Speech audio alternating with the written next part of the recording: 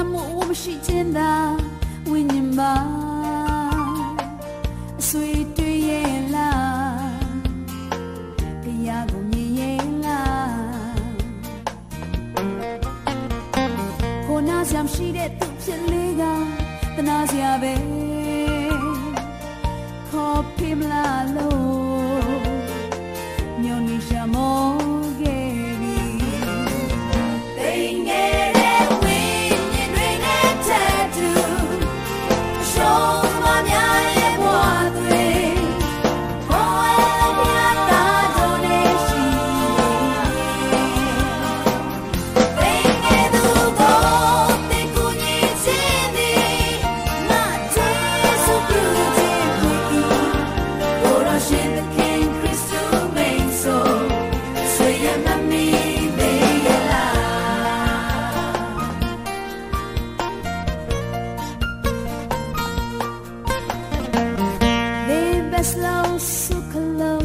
waste of time.